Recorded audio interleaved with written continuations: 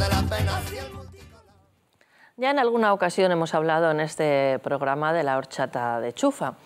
Está muy de moda la alimentación pues cada vez más, más sana, natural. Hasta ahí un sector de la población que se confiesa vegano, es decir, todo tiene que ser vegetal. Pues fíjense ustedes, la horchata de chufa, que cada vez la tenemos menos presente en nuestra alimentación y en algunas ocasiones hasta denostada. Bien, pues un empresario español de la zona de Valencia, no podía ser de otra manera, hace aproximadamente cuatro años desarrolló un artilugio, lo que viene a ser una máquina para fabricar, para hacer ese delicioso alimento en nuestro domicilio. Servía no solamente para la chufa, sino también para obtener leche de otros productos vegetales. Pues le han copiado. Qué raro. Y no han sido los chinos, a los que últimamente defiendo mucho, porque siempre les achacamos el que se copie todo, sino unos grandes supermercados que venden aparentemente el mismo producto a un tercio del importe que cuesta el producto que desarrolló este señor. Y además hasta tal punto le han copiado la caja y las instrucciones, que son unas instrucciones que había pintado, había dibujado y diseñado un amigo de él. Bien, por supuesto que está en juicios, pero él se ha gastado una importante cantidad en registrar este prototipo. El caso es que todo ello me lleva a reflexionar y a invitarles a reflexionar a todos ustedes si están protegidas o no nuestras ideas, las cosas que hacemos y la afición que tienen muchos a sentarse en el sofá, ver lo que hacen otros y copiar. Quiero creer que el invento copiado eh, no se parezca al original, porque muchas veces, por mucho que se esmeren, no se consigue. Ahora bien, este empresario, caray, después de tener esa idea, después de pagar, ahora lo que se ve es envuelto en juicios. Y sabemos cómo está la justicia en España, cuanto, cuanto menos lenta. Así que toca esperar.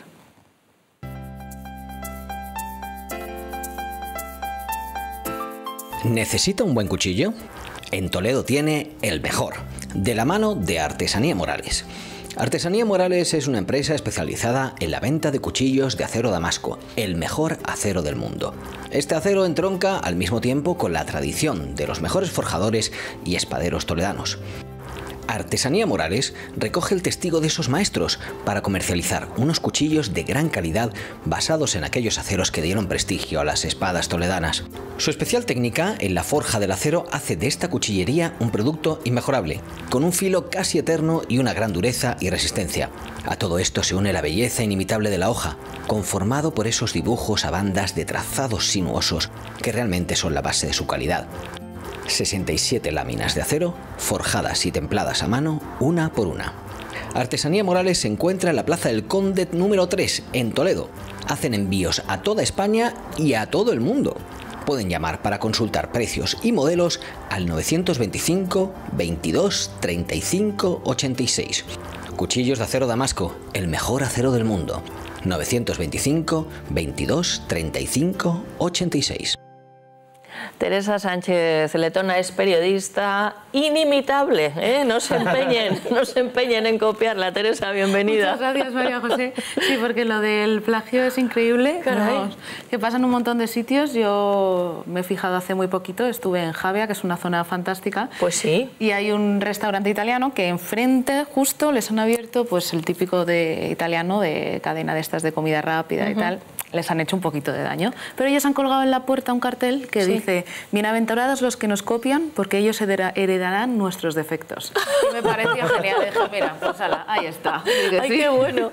Oye, pues fíjate que, por ejemplo, a Luz Hernández, luego hablaremos de ella en el, programa, en naturópata y técnico sanitario, casi siempre, que está en Príncipe Vergara 28, a su alrededor han abierto muchos centros de estética.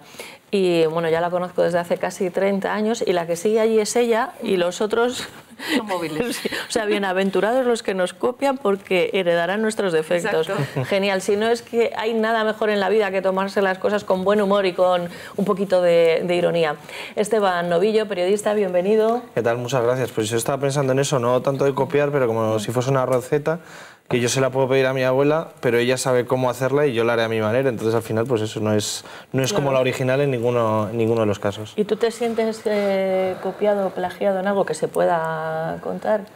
Sí, en, bueno, en, en todos los ámbitos pasa. Dentro de- del baloncesto también con, bueno, con algunas maneras de hacer las cosas, algunas formas incluso de, de entrenamiento, que a lo mejor tú varías un poco un, un ejercicio que has visto de otros entrenadores y de repente ves al día siguiente a un entrenador haciendo exactamente lo mismo. Entonces, bueno, dentro de... Sí, porque una cosa es que quieran aprender. De hecho, de hecho mira, los, eh, los americanos eh, copiaron a un sistema que hizo Sergio Scariolo en los Juegos Olímpicos de, de Londres 2012 y le ves ahora en la NBA permanentemente haciendo el sistema que por lo menos ellos sí que le llaman Spain.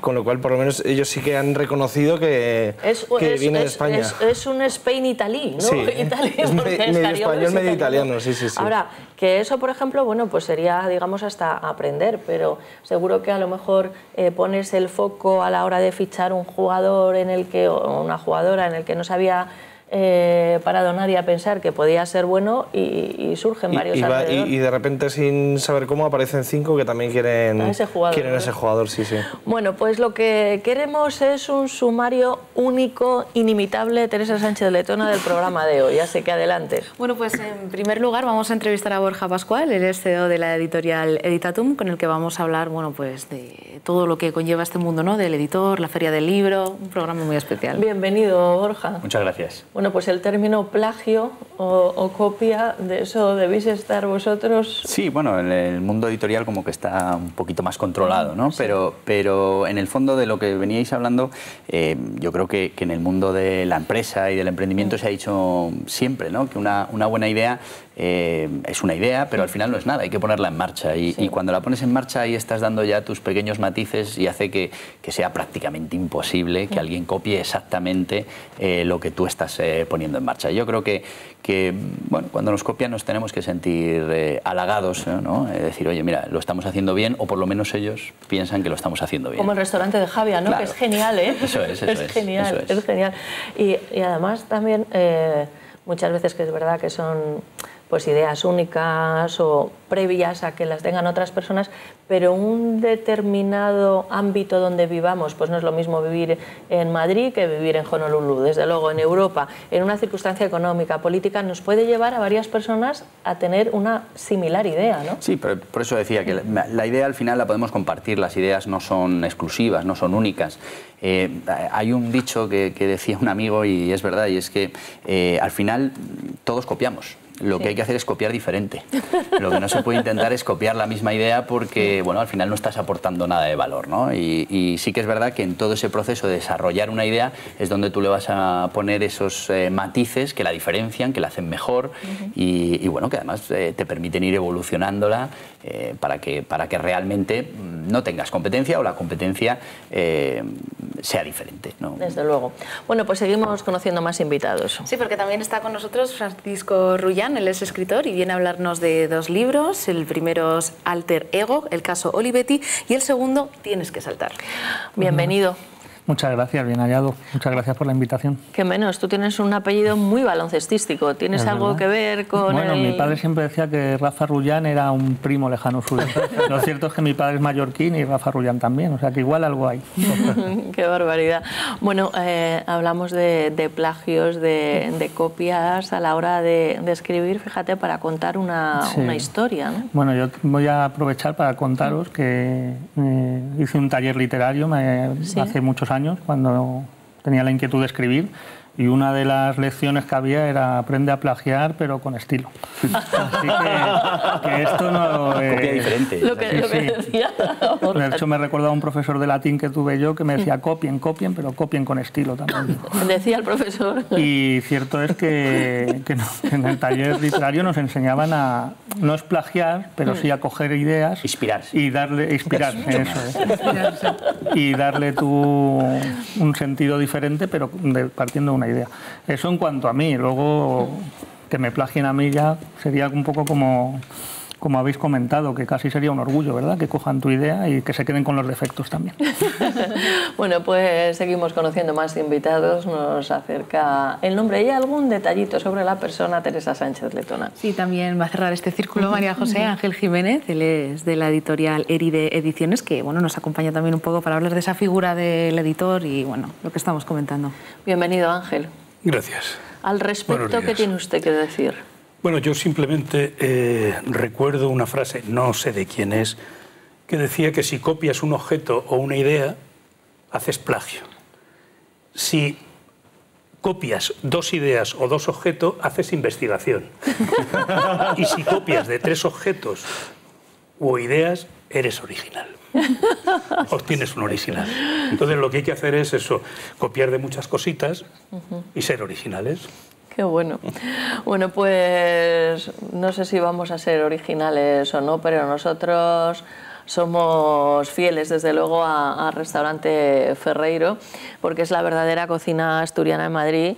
Y Teresa Sánchez Letona es la embajadora de Ferreiro. Sí, María José, porque tiene pues, los mejores productos asturianos, como pueden ser las carnes, los pescados, también sus famosos pucheros, esas fabadas, esas verdinas. Están en la calle Comandante Zorita, en el número 32, y el número de teléfono de reservas, que es el 91 553 93 42. Nosotros siempre recomendamos que llamen antes de ir para reservar una mesa, 91 553 93 42. Esteban. Sí, que estaba viendo las fotos y estaba pensando que cuando vayan al restaurante Ferreiro, eh, eso no es lo normal para nada. Eso debe ser después de cerrar recoger o justo antes de empezar ah, que por lo veías vacío, ¿no? Claro, decía vacío. Digo, eso no, eso no puede ser Ferreiro, desde luego. No, no, sí, la verdad que hemos hecho fotos vacías, está bien la, la apreciación. Sí, porque digo, normalmente cuando, cuando vamos al restaurante Ferreiro no... Hay que llamar para reservar. Sí, hay que llamar para reservar, es importante. Es verdad. Bueno, pues ahora recibimos a Santiago Alonso, él es autor teatral, actor, escritor.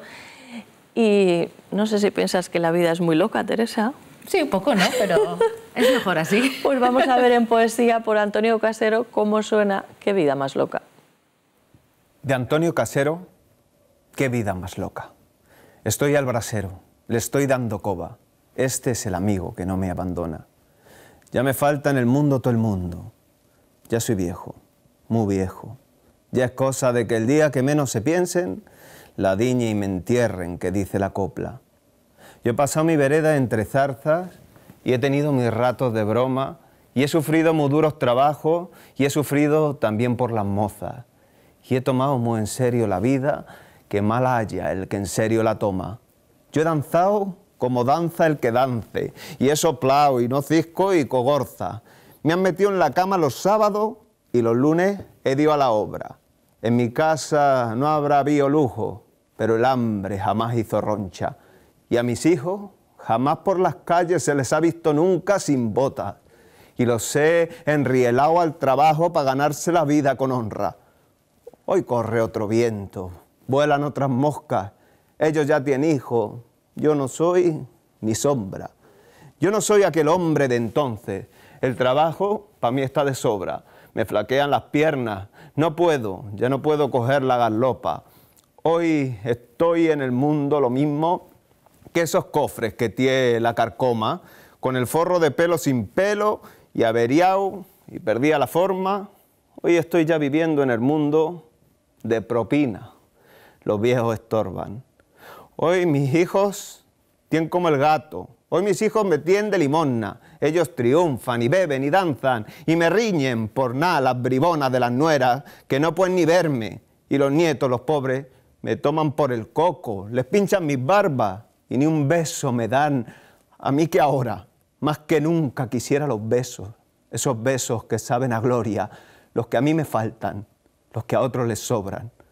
Es ley de vida, los viejos estorban cuántos besos que yo les he dado por las noches al volver de la obra, cuántas veces entré de puntilla porque estaban durmiendo a su alcoba y con mucho cuidado les besaba sus manitas, las mismas que ahora no acarician, aquel que por ellos ha pasado muchas penas muy hondas.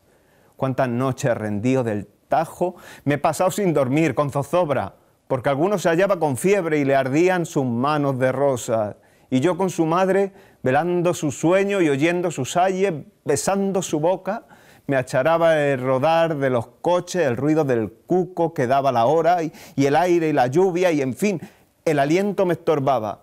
Ya ves tú qué cosas. Y hoy me escuchan toser y me dicen, cámara con la tos, qué posma, demonio de viejo, qué tos más ladrona, aquí no hay quien duerma, cállese y no tosa. Ya ves tú, qué contraste de mundo. Ya ves tú cómo son las personas. Hoy el sol es mi amigo del alma. Su calor me da vida, me entona, mas se oculta al ponerse la tarde y al ponerse repican las monjas sus campanas al toque del ángelus.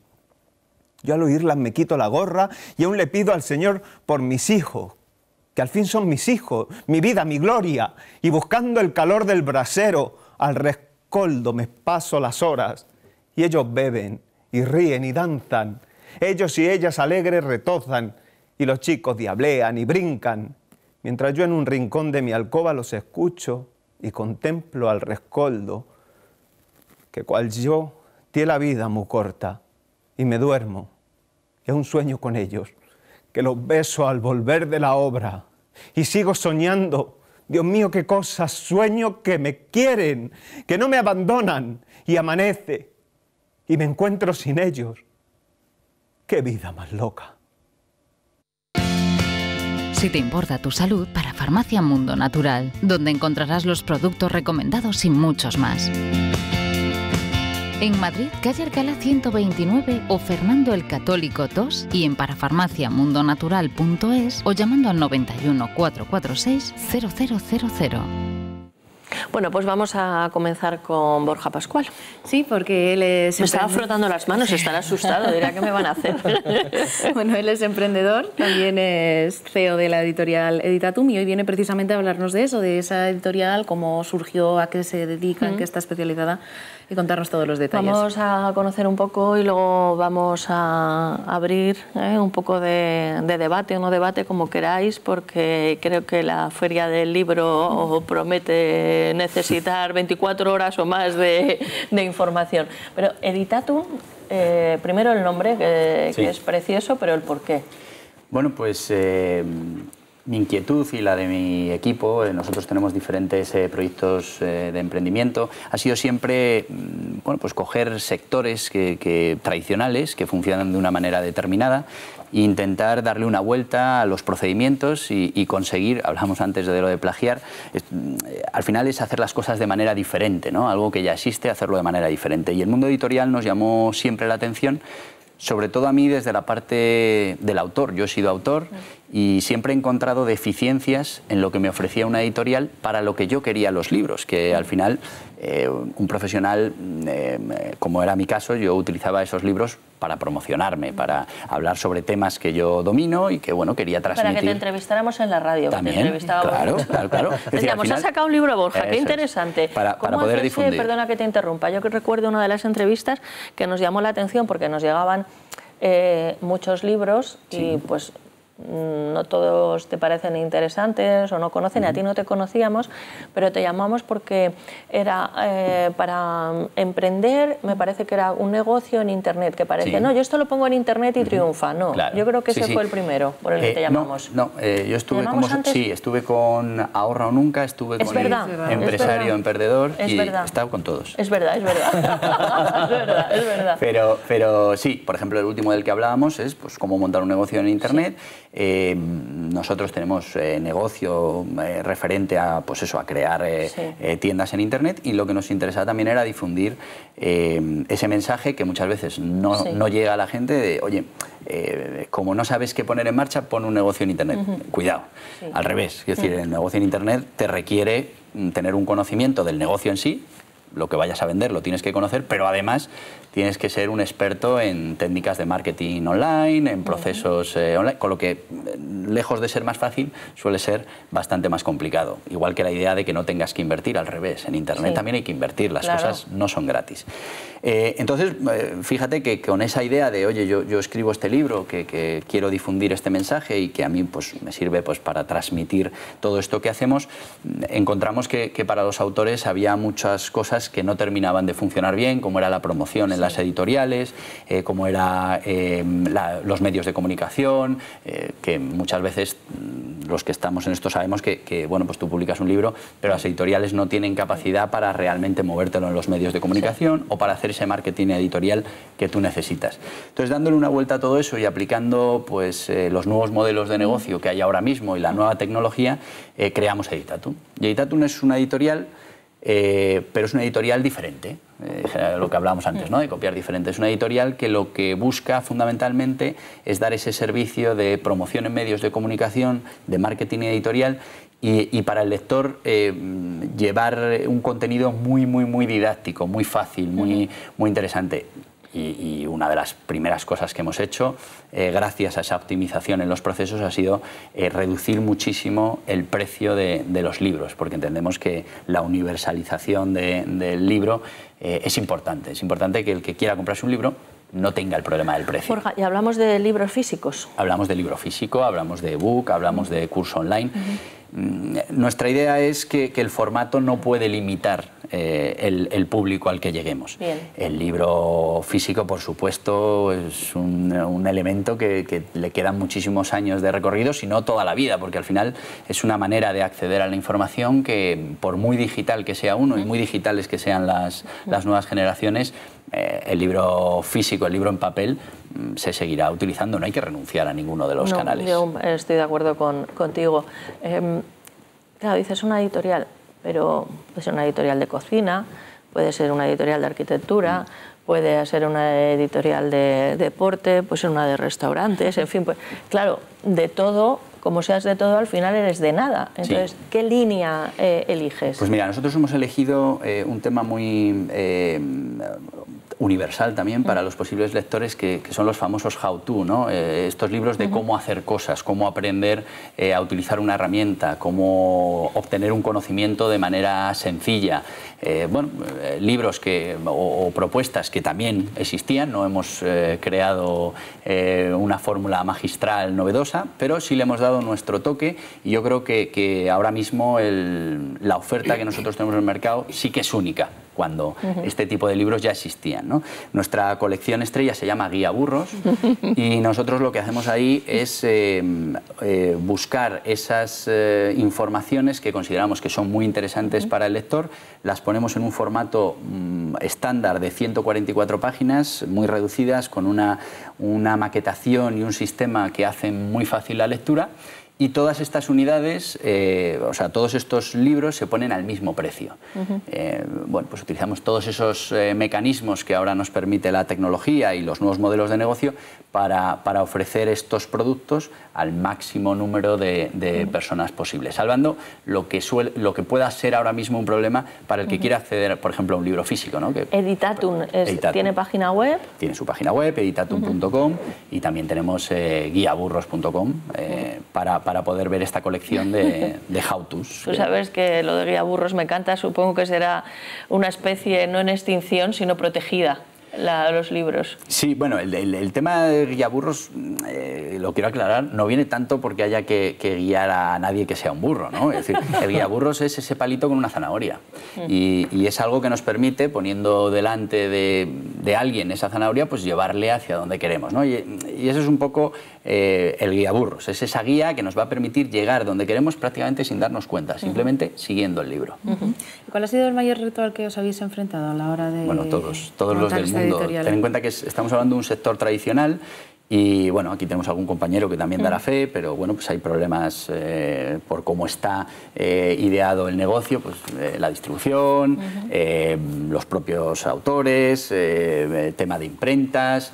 Eh, bueno, pues al final eh, todas esas cosas que, funcionan de una manera tradicional, pues suele ser complicado llegar y decir, mira, no, yo esto lo quiero hacer así, que es de una manera diferente y, necesito conseguir estos, estos objetivos. ¿no? Entonces, bueno, que todo el mundo se alinee eh, en esa idea pues ha, sido, ha sido complicado y está siendo, porque todavía estamos en fase de crecimiento y, y vamos encontrando día a día diferentes, diferentes problemas.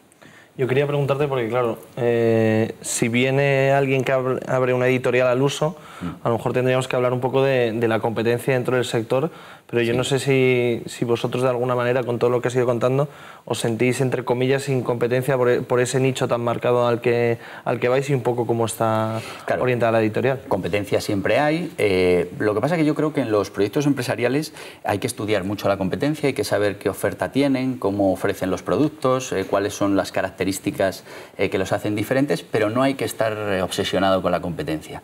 Es decir, volvemos a lo mismo, lo interesante es que te empiecen a copiar. O sea, que tú hagas las cosas de manera diferente y, y puedas generar un cambio en, en todo lo que es, eh, en este caso, el mundo del libro, que hay muchas cosas por mejorar. Es decir, que el sistema eh, económico que mueve el libro tiene muchos vicios, en mi- a mi entender. Es decir, tenemos una ley de precio fijo, que bueno, pues ahí está. Tenemos una especie de mm, eh, dominio eh, por parte de las distribuidoras del sector. Tenemos unos libreros que no terminan de conseguir la rentabilidad mm, por estar al albur de, de distribución y, y luego tenemos los editores, que son lo- los, los grandes inversores en todo esto y que, y que finalmente cuando estudias la cadena de valor, eh, aunque son los que más valor aportan, son los que menos eh, beneficios y más riesgos asumen. Y todas estas cosas yo creo que poco a poco las tenemos que ir cambiando. Eh, pero claro, esto no se llega un día y se cambia absolutamente el sector. Nosotros hemos apostado por un modelo totalmente diferente, basado en un modelo de negocio que utiliza Amazon, que, utiliza Google, que es el famoso long tail. Eh, y bueno, nosotros creemos que no seremos capaces de vender 300.000 ejemplares de un libro, pero seguro que somos capaces de vender un libro de los 300.000 eh, eh, títulos que vamos a tener. Es decir, es, es un modelo diferente, es un modelo con mucho tiempo de recorrido y bueno, haciendo las cosas eh, de manera no, no habitual. Ángel, ¿alguna pregunta, algún comentario a lo que está diciendo Borja? No, no, yo estoy prácticamente de acuerdo en todo con él. Solo añadir que en España se editan 90.000 títulos al año, Caray. lo cual dificulta mucho aquello de la competencia y demás. Creo que tenemos eh, en el sector grandes sombras que hay que ir limpiando, pero me quedo con una frase que ha dicho Borja que me ha encantado, y es el formato no puede limitar al libro ni a la cultura. Y ese es el gran reto que tenemos actualmente y con el tema que trataremos después, si vosotras queréis, de la Feria del Libro, porque el formato es lo que está ahora mismo impidiendo que el sector tenga vista dentro de, las feria, de la Feria del Libro en Madrid, que es la única feria del mundo que limita al lector o al ciudadano a poder acceder a todo tipo de, de formato en el libro. Sí, además es que yo creo que, que muchas veces eh, esa visión cortoplacista de gente que tiene que dirigir estos sectores hace que, que no se den cuenta que, mm, que, bueno, la tecnología avanza, los nuevos modelos de negocio avanzan y lo que hay que hacer es adaptarse. No se puede durante mucho tiempo estar parando el avance de las cosas. Hay que adaptarse, hay que trabajar con esas cosas y, y- igual que cuando llegó el tema del ebook, es decir, para mí es un gran, e- un gran error decir no al ebook como decir no al libro físico. Eh, lo que tenemos que buscar es la convivencia de los formatos, sobre todo porque hay consumidores de libro físico y hay consumidores de book y, y hay que darles el producto Claro. a cada uno eh, como, lo, como lo quiere. Borja, y no todos nos tenemos por qué dirigir a las supuestas mayorías. Por supuesto. Claro, claro. eh, eh, ni, ni tenemos que imponer al resto. eh, Claro, exacto. Es decir, que ni hay que imponer el libro físico a todo el mundo, ni hay que imponer el ebook a todo el mundo o el curso online. Nosotros, por ejemplo, hacemos esa tercera vía que es de todos nuestros libros una especie de curso online, porque cada vez hay más gente que quiere leer un libro en el ordenador. Es decir, yo, yo prefiero un libro físico. Claro. Quizás soy de otra generación. Pero, oye, cuando a mí me dicen, no, hay gente que prefiere hacerlo Hemos aquí. tenido una escritora recientemente muy, muy joven y decía que fuera de España le era más cómodo leer a través de un ebook, pero que en España eh, elige el libro, el libro Mira, yo- físico. yo- yo- a mí me pasa una cosa muy curiosa. Yo cuando leo por ocio, Sí. eh, leo el libro físico, siempre. Novela, siempre el libro físico. Además, el olorcillo del papel, Sí. el sentar... Y cuando leo mm, para temas profesionales, pues libros que me interesan, pues para aprender a hacer algo, pues para tal, leo ebook. ¿Por qué? Pues porque voy con mi ebook, en cualquier momento eh, repaso y voy, voy leyendo y, bueno, conviven perfectamente. ¿no? Mm. El, ser fan de, y, por lo tanto eh, no, querer que el otro exista no tiene mucho sentido. Y, bueno, en, el mundillo editorial, eh, pues bueno, hay mucha gente que, cree que defender un formato es atacar el, el, contrario. Defender un modelo de negocio que pueda ser el modelo de negocio tradicional de la editorial supone atacar nuevos modelos de negocio. Por ejemplo, el tema de la autoedición. Mm. Nosotros no hacemos autoedición, pero, eh, oye, es un modelo... Vaya cada uno. Francisco, ¿alguna cosa que comentar? Sí, sí, sí. Yo de, momento estoy aprendiendo un montón. Vengo como autor, me encanta lo que has puesto Borja y, como emprendedor y yo vengo como autor. Me resulta, dentro de todo esto que estamos hablando como autor, me resulta descorazonador que no hayamos hablado del escritor. Hemos hablado del distribuidor, hemos hablado del librero, del editor, y es una sensación permanente desde que he empezado a escribir de que somos la última, mm, la última opción a tener en cuenta en este mundo. Está bien empezar por O en lugar de por M, ¿eh? me ha quedado mejor. yo te lo tenía guardado, ¿eh, Francisco? bueno. Porque iba a puntualizar una cosa, aparte de los 90.000 títulos. Y es que las editoriales con el modelo que tenemos Borja o que tengo yo, que son editoriales pequeñas, medianas, eh, tenemos que luchar contra luchar en libre competencia y de buena manera con las grandes marcas, con las grandes editoriales, los dos grandes núcleos que hay en España. La diferencia es que estos grandes grupos un título lo tienen en catálogo ocho meses. A los ocho meses desaparece y no existe. Nosotros, sin embargo, los catálogos los tenemos vivos hasta que el autor o la autora entienden que tienen que pasar a otro nuevo pero mantenemos vuestro trabajo en el tiempo. E intentando tenerlo en librerías y en los escaparates durante años, un tiempo prácticamente ilimitado. Desde luego, yo lo que estoy viendo es que necesitáis vitaminas. necesitáis vitaminas y viene la recomendación de Mundo Natural, un nuevo producto, Enervital, fíjese, energía, vitalidad y encima, por si faltara poco, multivitamin para los escritores, para los editores, para los lectores, para los sufridores, para todos. Si quieren tener más información sobre este producto, es un nuevo producto de Mundo Natural, Enervital Vitamin, pueden ponerse en contacto con Mundo Natural o acudir a las parafarmacias. Encuentran parafarmacias de Mundo Natural en Madrid. Por ejemplo, tienen una en la calle Fernando el Católico número 2. Fernando el Católico número 2. También en Madrid, en la calle Alcalá, en el número 129. Y si están por la zona de, Alicante, pues en la calle Portugal número 38. Y en Valencia, en la Gran Vía Ramón y Cajal, en el número 25. Si te importa tu salud, para Farmacia Mundo Natural, donde encontrarás los productos recomendados y muchos más. En Valencia, calle Gran Vía Ramón y Cajal 25 y en parafarmaciamundonatural.es o llamando al 91 446 0000. ¿Sabía usted que unos pies con problemas pueden paralizar nuestro ritmo de vida? Le proponemos una solución indolora con una mínima incisión y con anestesia local aplicando las técnicas más avanzadas en cirugía del pie. Clínica Jiménez, calle Alcalá 378. Diagnóstico gratuito 91 367 0071. Centro reconocido y autorizado por la Consejería de Salud y la Comunidad Económica Europea. 91 367 0071. Eso sí, me, eso sí me avisas, Ángel, de las ruedas de prensa, de las presentaciones de los libros, de todas esas cosas. Por alusiones. Bueno, era el orden que teníamos previsto, pero, parece que como se ha sentido molesto el escritor, toca hablar con él ahora, pero toca hablar con él ahora. El señor Rullán. Sí, el señor Rullán, que viene a presentarnos dos libros, Alter Ego, el caso Olivetti, y también tienes que saltar ambas, si no me equivoco, de la editorial Chiado. No. No. Me he confundido. Eh, tienes que saltar de la editorial Chiado y ahora presento el 2 de junio Alter Ego Caso Olivetti de editorial Libros. Libros. ¿Y cómo empezaste a escribir? Pues eh, escribo desde niño, pues desde siempre me ha gustado. Y me viene un poco también de familia y de amigos. Eh, tenía un amigo que era Juan Pérez Creus, que fue un grandísimo escritor ya fallecido. Y luego mi abuelo escribía biografías de santos, mi padre le encantaba la literatura, teníamos la casa llena de libros. Y desde pequeño siempre tuve esa vocación de escribir. Qué bueno. Esa pregunta que te he hecho te la habrán hecho muchas veces, pero esta otra creo que no. ¿Y de qué conoces a mi hermano? ¿O con dónde os habéis conocido? A tu hermano lo con- hace que no le veo igual 20 años. ¿eh? Sí, y fíjate que estaba hoy previsto que estuviera, pero ha, surgido un rodaje, ya sabes que él con el cine, prioridad absoluta. Pues espero que no pasen 20 años más. Pero, pero le conozco de cuando iba al instituto. Él era muy amigo de un compañero mío de clase de Juan José Villascusa. Hombre, de Villa Excusa, Villas, mítico. Villas. Villa Y- Excuse me le llamamos, Pues Villas para que Me, darle... Pues sigue siendo muy amigo mío y de mi mujer. Qué bueno. Y Antonio era casi su mejor amigo, por lo Bueno, menos así lo recuerdo yo. y yo a de- Villa Excusa de toda la vida, hace mucho yo que, que no, Pues de que no ahí le veo. viene conocer a Antonio. Alter ego, caso Olivetti. Lo de Olivetti me suena a la máquina de escribir. Te suena bien. Bien. No sé el apellido del asesino ni nada.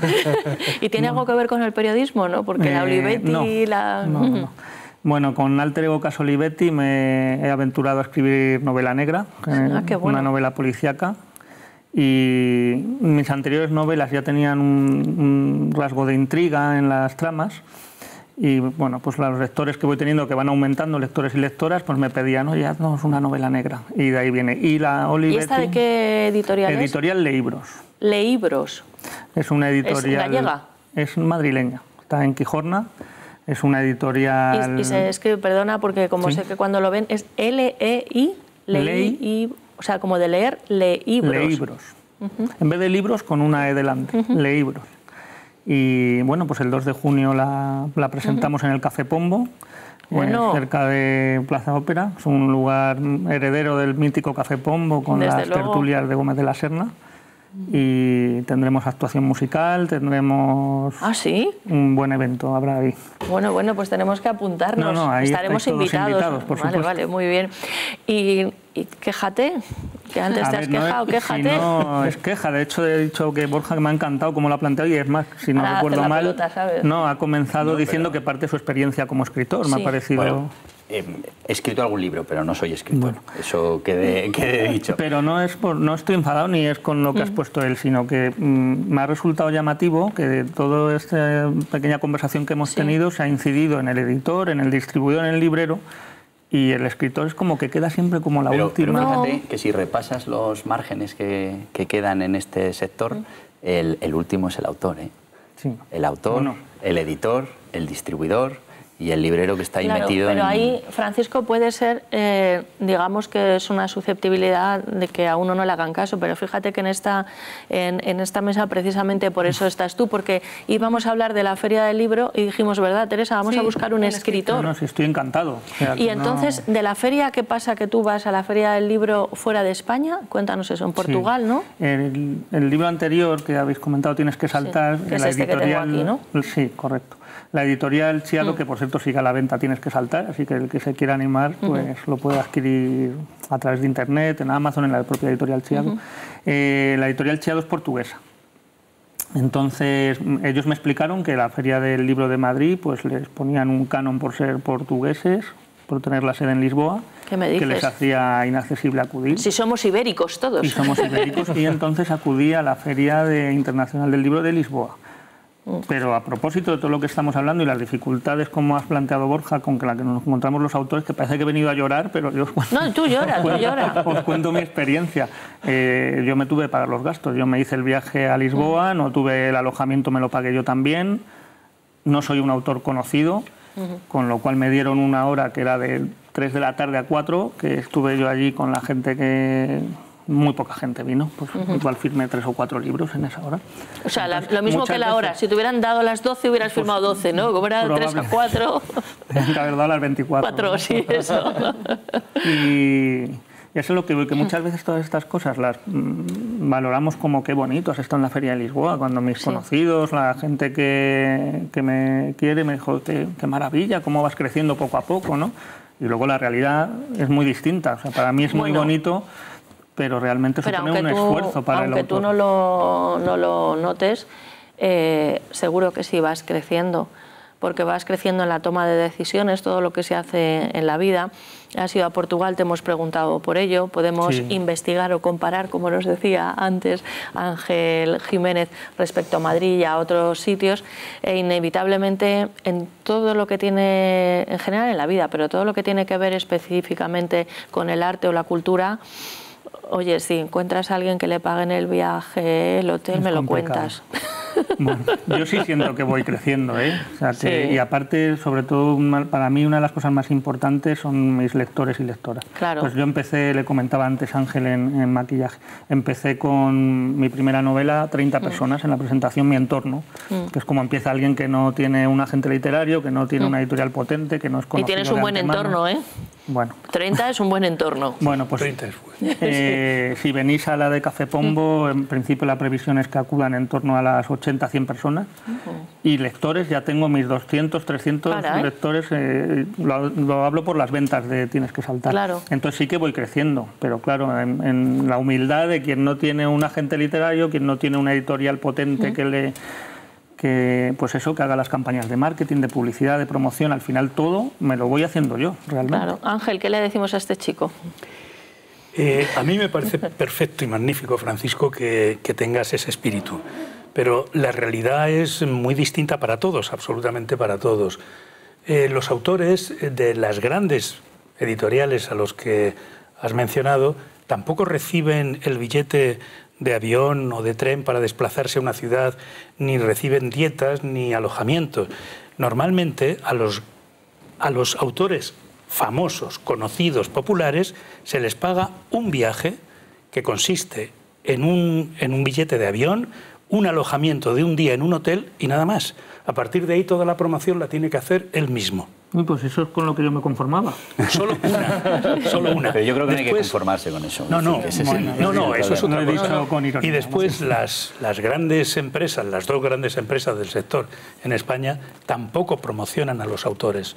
La promoción de los autores se hace individualmente. No importa que te llames Pérez Reverte, Antonio Gala o Francisco Rullán.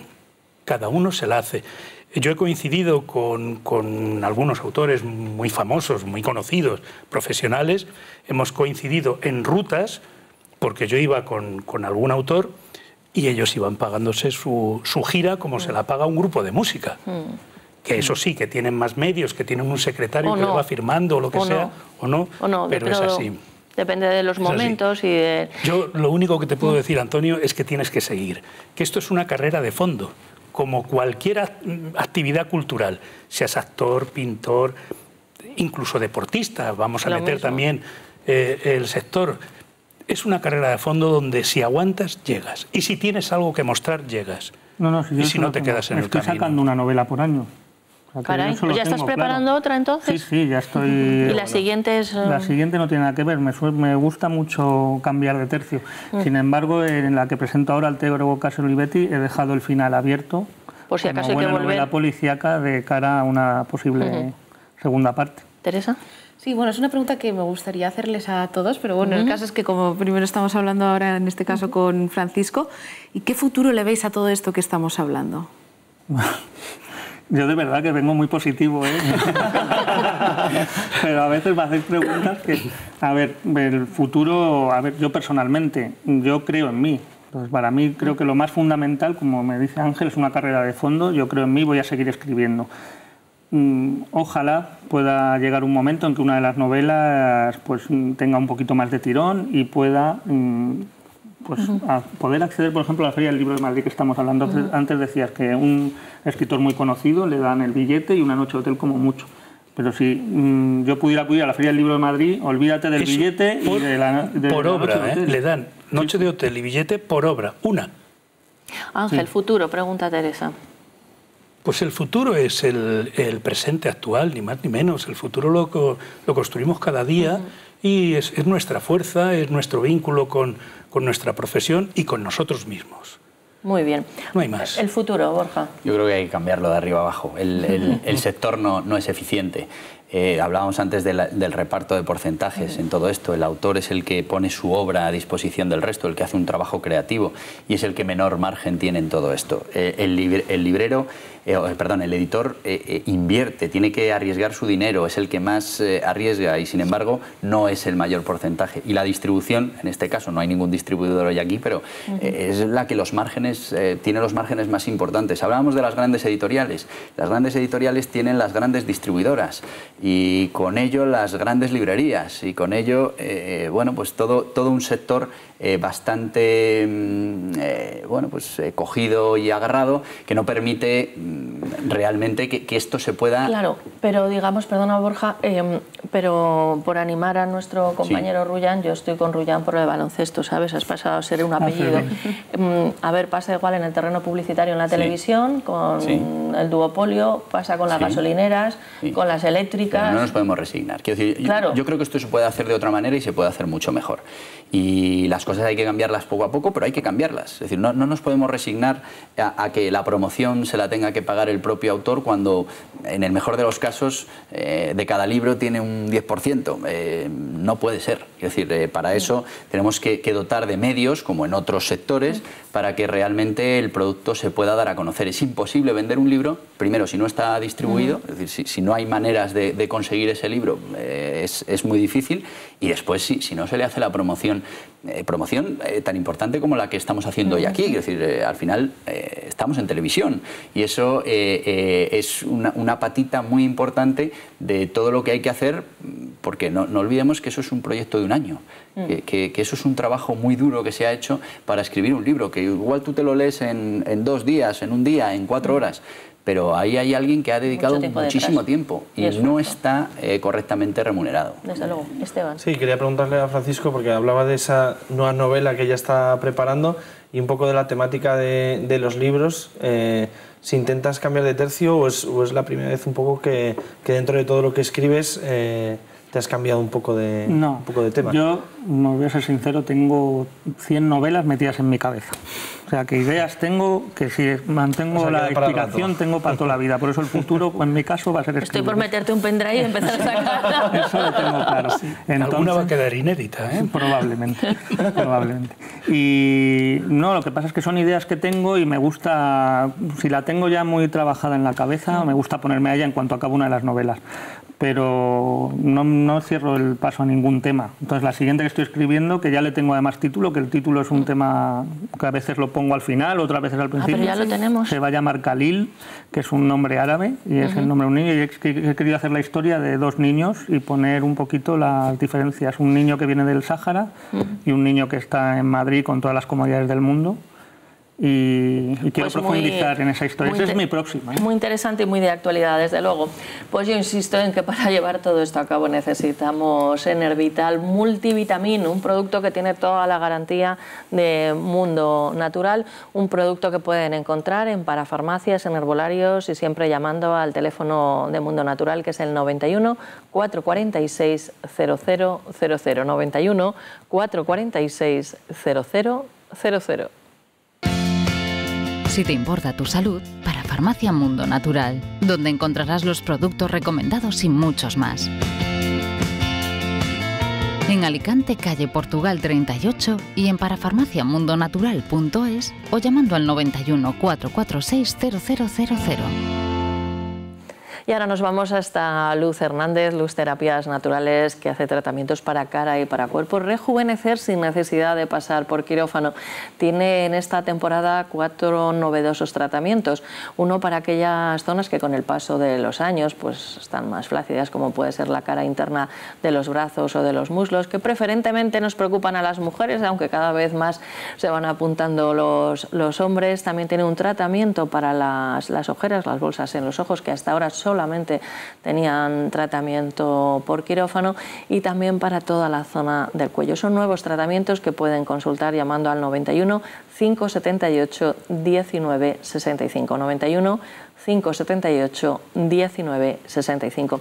Y ahora vamos con Ángel Jiménez. Eh, ¿Qué podemos decir de él? Pues que es editor de la editorial Eride Ediciones y que bueno, pues que vamos a seguir indagando ¿no? en este Por supuesto, este Feria del Libro. Feria del Libro. Antes de, nada os digo que soy el editor de Eride. Tenemos dos sellos porque eh, esto creo que para mí es muy importante. Tengo un pues sello que es VDB para que vea Francisco VDB. lo que somos los perdedores, dedicado única y exclusivamente al teatro. Qué bueno. Es el sello del teatro. Dime dónde hay una sola Aplauso. librería, bueno, hay dos o tres, que tengan libros de teatro. Pues aquí tienes un Quijote intentando sacar adelante todos los textos del siglo XX. VDB. Tomo nota que también tengo VDB. proyecto por ahí. Sí, sí. No, no, pero sí, sí, sí, sí, sí. VDB. Pues Ángel, lo que deberías hacer es ponerte a trabajar un poquito más y alguna de esas, de esas obras de teatro eh, que publicas, pues traernos al autor a la tele y que nos lo cuente. Eso no hay ningún problema. Eso, todos los que queráis, autores de teatro vivos, porque los muertos son más complicados. No, no, no, no, traemos, perdona, ¿eh? eso sería más interesante. Bueno. ha, ha- dicho eh, mi amigo Rullán que su padre o tu abuelo hacía biografías de santos, De santos. que digo yo que no tendría oportunidad de hablar con ellos. Entonces, bueno, vale, la editorial vamos en serio. Bien, para hablar de la Feria del Libro, eh, os tengo que decir que tenemos un auténtico problema este año 2018 para acceder a la Feria del Libro de Madrid. Desde hace prácticamente tres años los editores estamos teniendo serios problemas para acceder en la Feria del Libro de Madrid, fundamentalmente porque la comisión organizadora de la Feria del Libro de Madrid está integrada, estaba integrada por tres gremios, el de editores, distribuidores y libreros, pero los libreros tenían mayoría de miembros en, en la comisión y al final la Feria del Libro de Madrid A ver, se ha repíteme ido los tres. ¿Son libreros? libreros, distribuidores y editores. editores.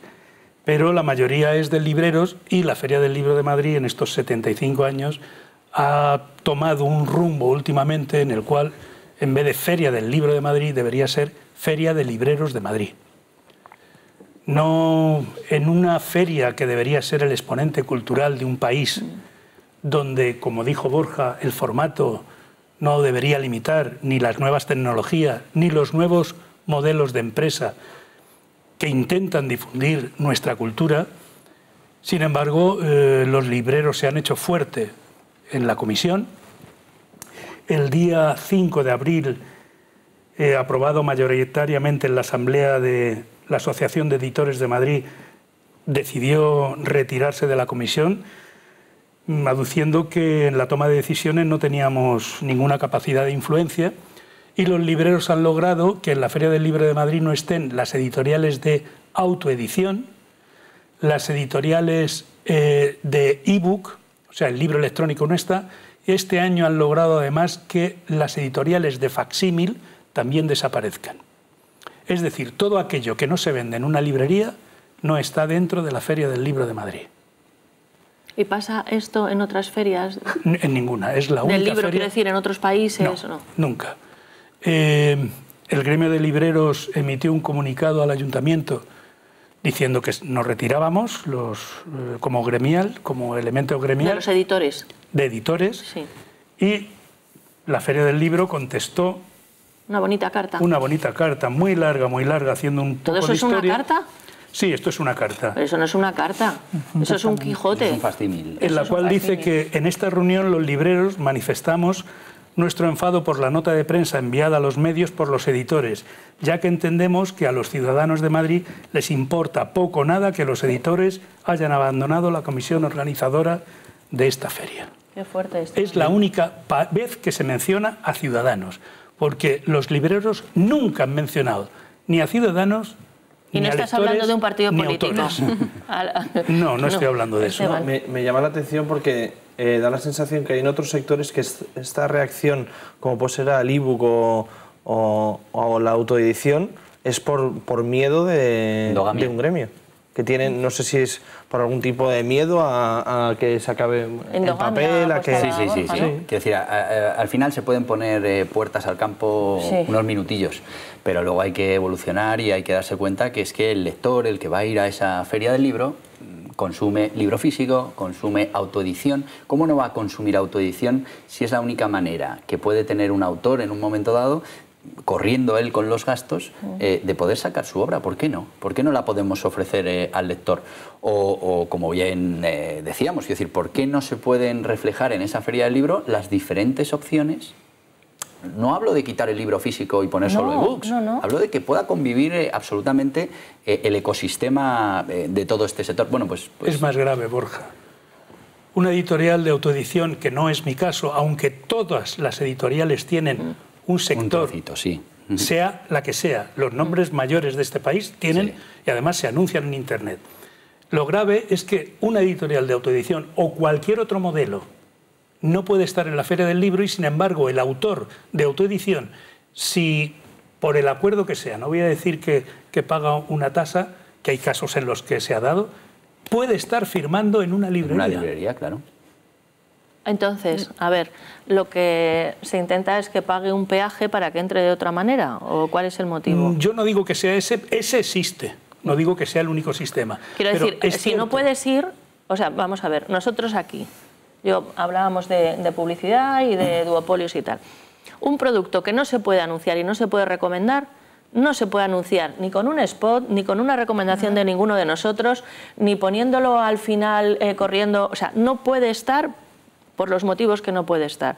Y entonces, si un escritor no, no puede estar en la feria porque así lo han estipulado, si no puede estar por él mismo con una editorial, pero sí que puede estar dentro de otra caseta, pues no sé, yo pienso que ahí hay unos intereses económicos aparte de... Claro, el, el gran problema es que las eh, librerías, y esto es una opinión muy personal, pero al final las, li- las librerías eh, dependen de las distribuidoras. ¿Por qué? Pues porque, oye, mm, si quieres vender este libro que va a tener mucho éxito, me tienes que comprar.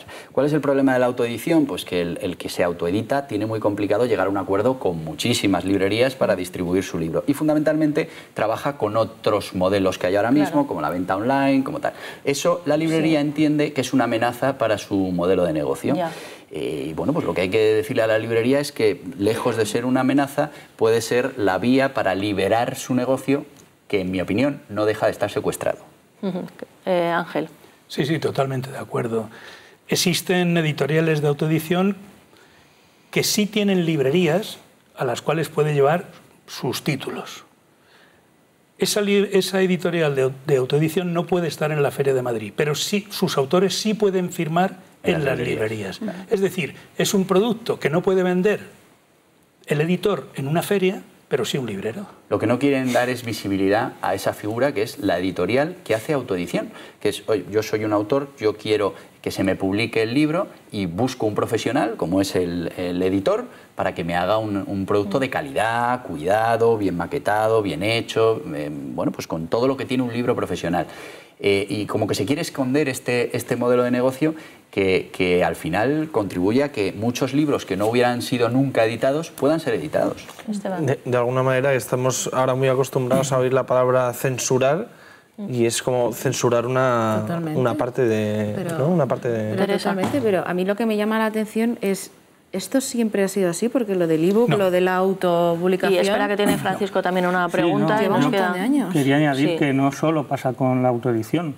Eh, mm, Alter Ego Caso Olivetti lo va a editar Editorial de Libros. Es una editorial que es pequeña, no trabajan con distribuidora porque tienen que reducir costes. Eso les permite publicar mi novela sin que a mí me suponga un coste. Claro. Es decir, todo es una cadena que al final está el fondo económico. Editorial de Libros no puede ir a la Feria del Libro porque no tiene distribuidora. Pues que vengan a la tele. Sí, sí, Hacemos no. aquí la feria de la tele. Sí. Y preguntaba lo mismo, Teresa. Lo mismo ocurre con el ebook. No, el libro electrónico no está en la Feria del Libro de Madrid.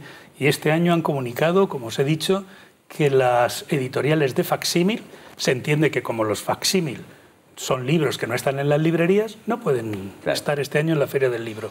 Hay una última queja del gremio de editores en el que comunica a la comisión de la Feria del Libro su queja porque eh, parece ser que se necesita un incremento o que había un incremento en los gastos y se ha subido un 5% a los editores eh, para participar en la feria, solo a los editores.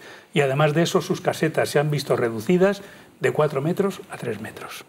¿Y os las han puesto en el Extra Radio de Madrid o qué también? Porque- en el sorteo primero se sortean casetas de libreros Mm. y luego van. Yo lo que pasa, Ángel, que creo que me va a llegar otra carta de esas igual, pero bueno, no me, no me, no me importa, no, no lo entiendo.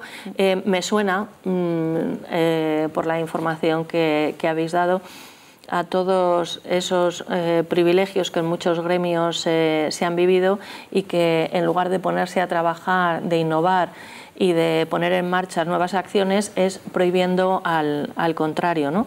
Eh, a nosotros nos, sucedió, digo nosotros hablo en este caso por, por Antonio, una época que nos dedicamos a organizar para ayuntamientos actividades culturales y bueno, pues había unas empresas que estaban situadas para, para hacer eso y vieron que además teníamos buenos contactos y bueno, se aliaron de alguna manera para, espera, que te voy a quitar, en lugar de sumar esfuerzos y, y, hacerlo en positivo. En fin, Ángel Jiménez, muchísimas gracias por acompañarnos. tienes tarea, nos tienes que traer, nos interesa específicamente los libros dedicados al teatro no hay ningún problema. Específicamente. Si no traigo al autor porque haya fallecido, podemos traer al heredero. ¿eh? Ah, bueno. Hombre, el heredero, con todo lo que estáis diciendo que se gana, no está mal conocerlo. no, porque nos puede contar muchas cosillas de. Por supuesto que sí, hecho. Francisco Rullán, gracias por acompañarnos. Igualmente. Y la invitación es extensible también para las editoriales que te publican los libros, que vengan aquí, que cuentan lo que hacen. lo traslado inmediatamente. Que aquí les ponemos de momento sin cano. No nos importa también que paguen publicidad, ¿eh? pero de momento Borja Pascual, gracias por acompañarnos. Y además recomendamos, por supuesto, programa que, que hacen Déjate de Historias, interesantísimo. Aprendimiento, aprendiendo a emprender. Y un abrazo especial para mi tocaya, María José Bos. Esteban Novillo, gracias por acompañarnos. Muchas gracias. Qué cosas aprendemos aquí, ¿eh? Tremendo. A copiar hemos aprendido. A copiar, pero con estilo. copiar diferente. Diferente. O investigar. Eh, Teresa, ¿algo que añadir? Nada, que me ha encantado, que he aprendido muchísimo y que me he quedado bastante alucinada porque no tenía ni idea de que pasaban estas cosas, la verdad. Qué de prohibiciones, madre mía. Bueno, pues nosotros nos despedimos de todos ustedes, recomendándoles, eso sí, que sean malos, porque dicen los que entienden de esto que es divertidísimo, pero hay que ser muy, pero que muy malo.